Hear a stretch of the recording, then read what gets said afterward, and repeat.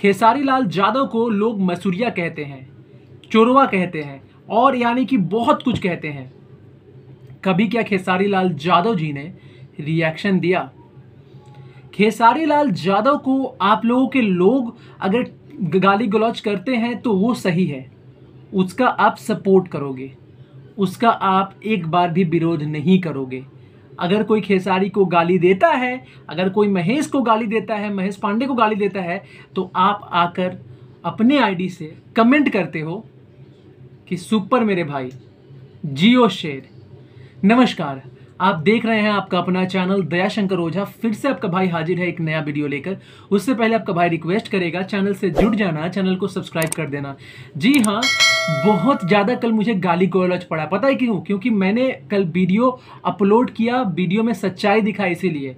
आकर मुझे गाली गलौज कर रहे हैं, कमेंट जाके चेक कर लेना, ठीक है? तो उनका रिप्लाई मैं इस चैनल पर नहीं करूँगा, अपने एक भाई है, उनके चैनल पर कर रहा हूँ। जानते हो क्यों? ये चैनल को कचरा करना चाहता ही नहीं हूँ यार। मैंने यहाँ पे ना तो एकदम सही कंटेंट डालते हैं हम लोग, और खेसारी जी से जुड़ा हुआ। मैं चाहता नहीं हूँ ये सब मतलब डिस्क्रिप्शन में लिंक दे दिया हूँ। सुनो, आपको करना क्या है?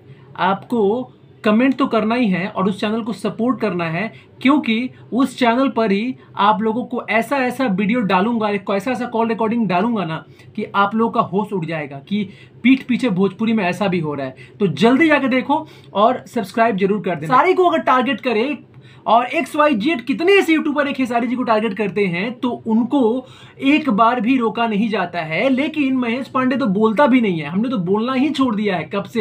एक आध बार जब वो लोग तंग करते हैं तो हमें भी मजबूरन बोलना पड़ता है। मजबूरन, कितने दिन हम क्या अपने मुँह को सी ले? हम लोग मुँह के सुई के बैठ जाएँ।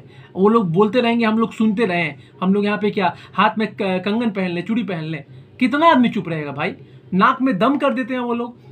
मसूरिया बोलते हैं छकवा बोलते हैं, क्या नहीं बोलते हैं? आपको तभी हमने पवन सिंह जी बोलते हैं हम लोग। पवन जी बोलते हैं। उस लेवल पे अगर हम लोग उतर जाए तो सोचिए आपको कितना बुरा लगेगा। लेकिन तब भी हम आपको सम्मान करते हैं, क्योंकि आप एक सीनियर कलाकार हैं।